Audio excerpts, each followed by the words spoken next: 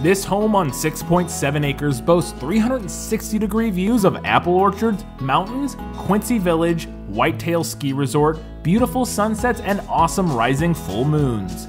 Equine amenities include two stalls that open to a paddock and three fenced pastures. The custom built stone and stucco home features engineered hardwood floors and two story living room that is flooded with natural light.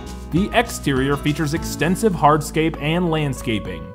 Learn more when you tour with Matt Gunder.